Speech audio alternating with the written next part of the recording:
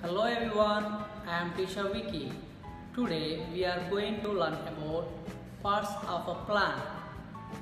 Let's go to the lesson. Parts of a plant. Like human beings, plants also have different parts. These parts help them grow, survive, and reproduce. Some parts of the plants are above the ground, while some are below the ground. Parts of a plant above the soil that we can see is called shoot of a plant. Parts of a plant below the soil that we cannot see is called root of a plant. Now we will learn about parts of a plant. There are mainly five parts. Leaves, stem, flower, fruit and roots.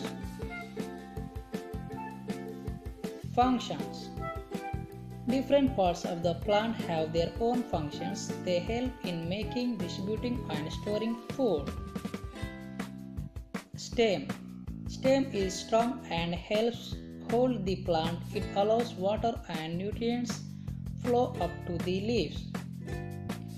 Stem Some example stem we eat are sugarcane and asparagus. Leaves Leaves collect sunlight and make food for the plant. Every plant has a different kind of a leaf. Some example leaves we eat are cilantro and fenugreek leaves. Next one is roots.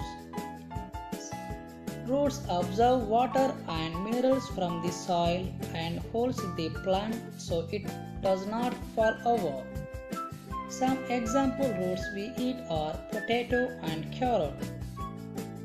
Next one is flower. Flower are the parts of a plant that make seeds and fruits. Flowers are colorful so easily attracts hummingbirds and bees. Some of the flower we like are sunflower and rose.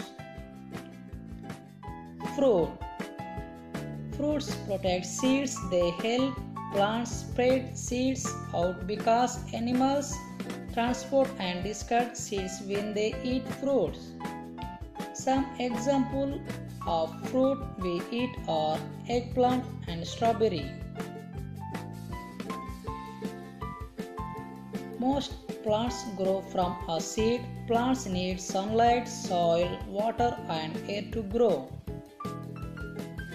Plants cannot move. They make their own food using water, air and sunlight.